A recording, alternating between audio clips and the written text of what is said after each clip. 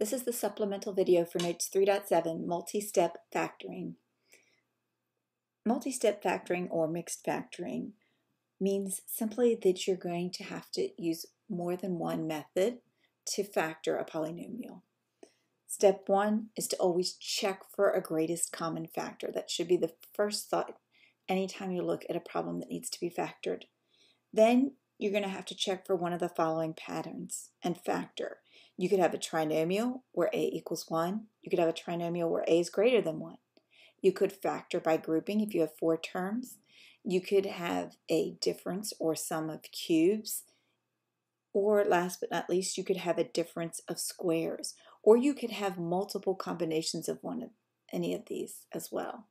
So every time you factor, the most important step is this last step.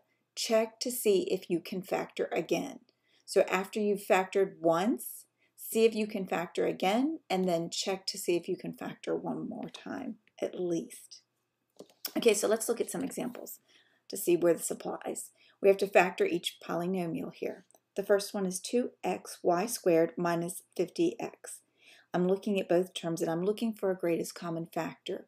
It looks like we can factor out a 2 because 2 is the largest number that divides into 2 and 50, and they both have an x in common, so I can factor out as an x as well. So I'm going to, the GCF is 2x, I'm going to factor that out, and then I'm going to take what's left over and put it in parentheses. So 2 divided by 2 once, x goes into x once, and we're left with just y squared. Over here, 50 divided by 2 is 25, and the x's cancel out, so we're just left with y squared minus 25 in parentheses. You have two terms here, and I can take the square root of both of those because they're both perfect squares. So this is a difference of squares. So the square root of y squared is just going to be y. The square root of 25 is going to be 5. So my final answer is going to be 2x. Remember always to include your GCF. And then we know the formula for a difference of squares. It's going to be y plus 5 y minus 5. And again, order doesn't matter, so I could have also written 2x y minus 5 times y plus 5. Either one's fine. Okay, let's look at the next example. I have 3y squared minus 15y minus 252. First thing I'm going to do is check for a greatest common factor. Usually we want to pick the smallest number and the ideal, ideal is if this number divides into all three terms, and this is the case we have here. So the smallest number of all three is 3, and 3 happens to go into each of these terms. So let's go ahead and factor out a 3. This one doesn't have a y, so we can't factor out a variable. So 3 divided by 3 is 1, so we're just left with y squared. 15 divided by 3 is 5, so negative 5 and the y drops down. And then 252 divided by 3 is 84. So in parentheses, we have y squared minus 5y minus 84. Here we have a trinomial where the first term is 1. We want to see if we can factor this a little further. So let's write all the factors of 84 till we get till to 2 that have a difference of 5. Remember, the negative sign here means that your factors will have opposite signs. The bigger number will be a negative number. So let's try. We have 184, 2 and 42, 3 and 28, 4 and 21, 6 and 14, getting closer, and then finally 7 and 12.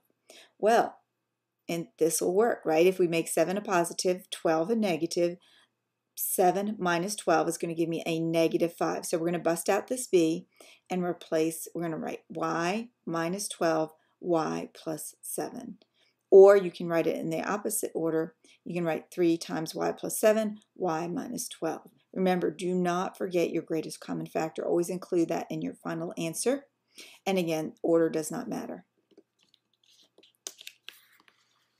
All right, let's go to problem number three. I've got 4x to the fourth minus 64. Again, you've got two terms here. I'm going to check, first thing I'm going to do is check to see 4 is the smallest of the two numbers. I'm going to check to see if 4 divides into 4 and 64, and it does, so that's great. I can factor out a 4. I cannot factor out an x variable because this one, this 64, doesn't have a variable.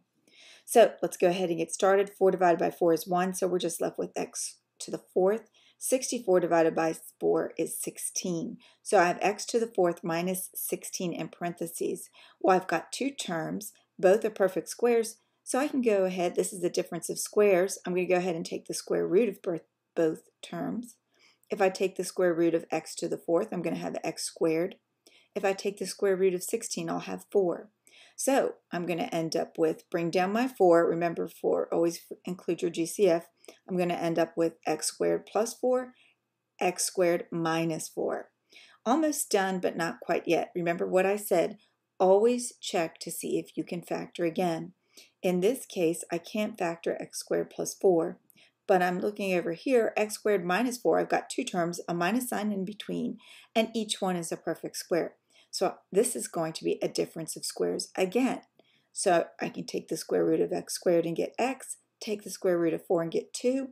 So my final answer is going to be 4 times x squared plus 4, but I'm going to factor x squared minus 4 into a difference of squares. It becomes x plus 2, x minus 2.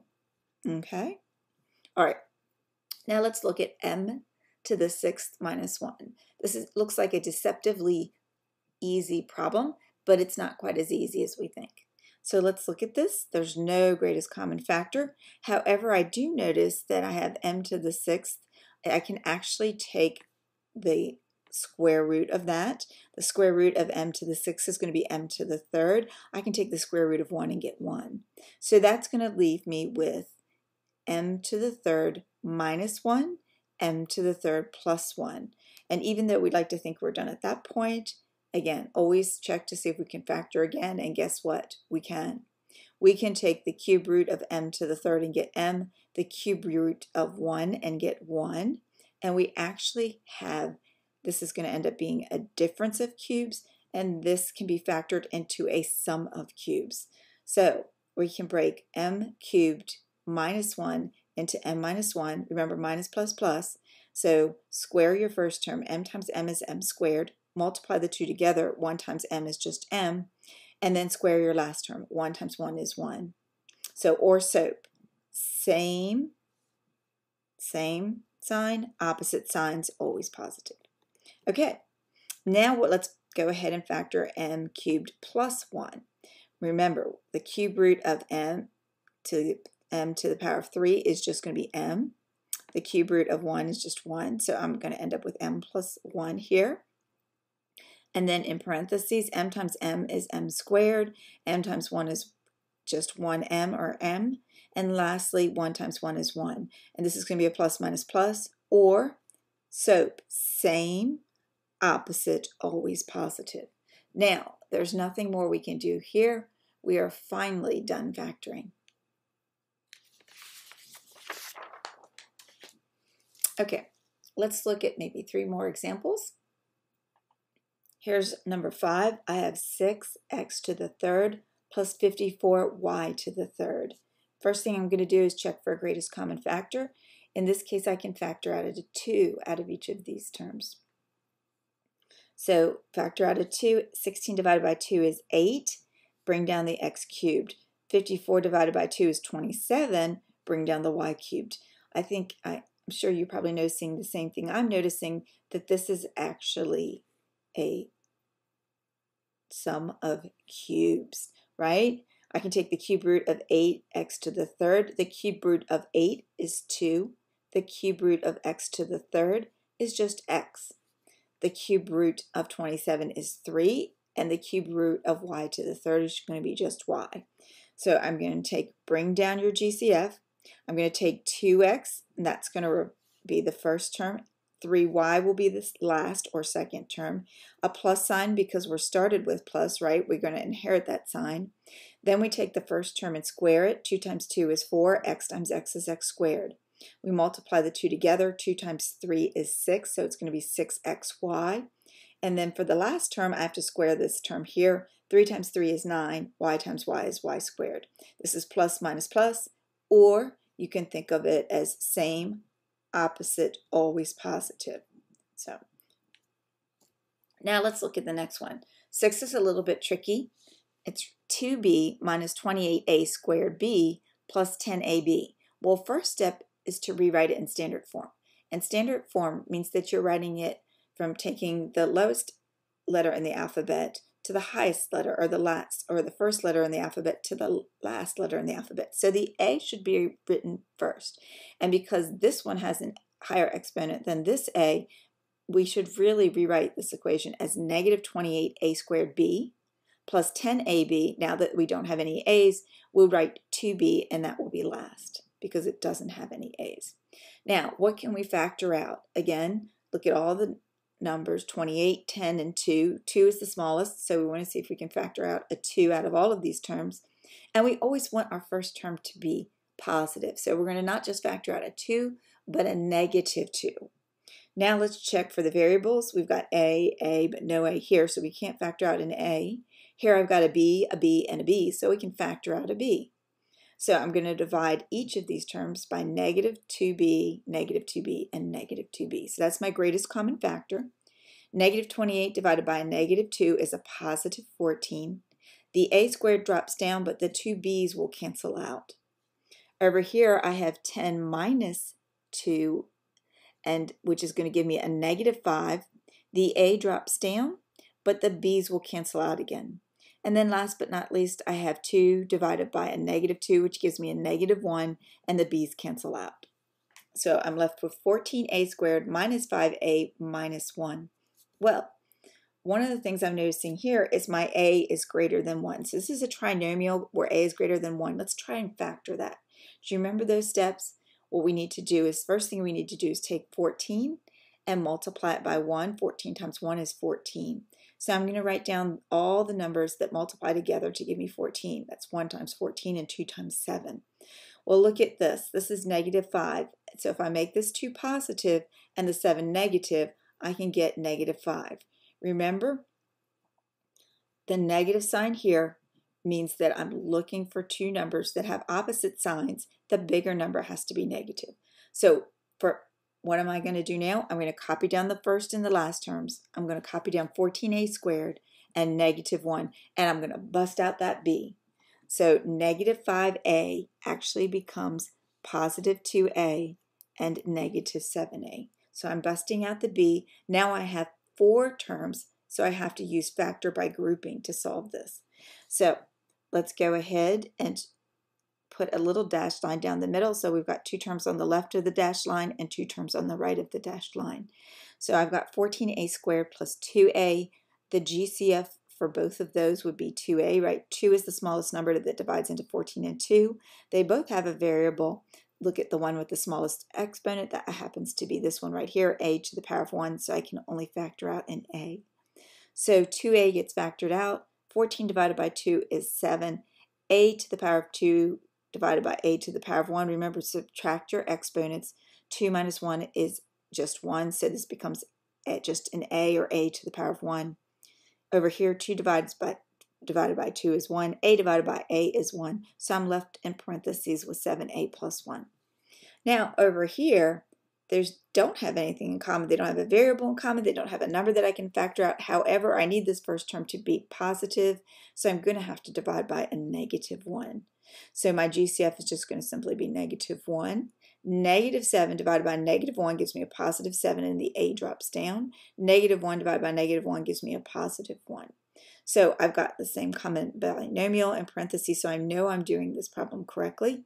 So my final answer is going to be take my GCFs and put them together in a set of parentheses. So 2a minus 1 goes in one set of parentheses. The common binomial 7a plus 1 goes in the other set of parentheses. However, let's not forget this GCF that we factored out in the very beginning of the problem. So I need to include that in my final answer. So my final answer will be negative 2b times the quantity 2a minus 1 times the quantity 7a plus 1. So a lot going on there. All right, let's look at one final example. This is 3x to the third plus 6x squared minus 27x minus 54. Again, as always, let's check for greatest common factor. So the smallest number here is 3, so I'm going to see if a 3 can divide into 3, 6, 27, and 54, and it does. So I'm going to go ahead and factor out a 3. I can't factor out an x because I have an x here, here, here, but not here. So when I factor out or divide by 3, I'm left with 3 divided by 3 just gives me x to the power of 3. 6 divided by 3 is 2, and I bring down the x squared. 27 divided by 3 is 9, or negative 9, bring down the x. And last but not the least, negative 54 divided by 3 is negative 8. 18. So I've got four terms here, so we're going to do factor by grouping. I'm going to split them into two sets of two terms each by drawing a dashed line right down the middle. Let's look at x to the power of 3 plus 2x squared. I can factor out an x squared term out of both of those. So x to the third divided by x squared is going to just be x. Remember, subtract your exponents. 3 minus 2 is 1. Over here, I have 2x squared divided by x squared. The x squared terms cancel out, and I'm just left with plus 2 right here.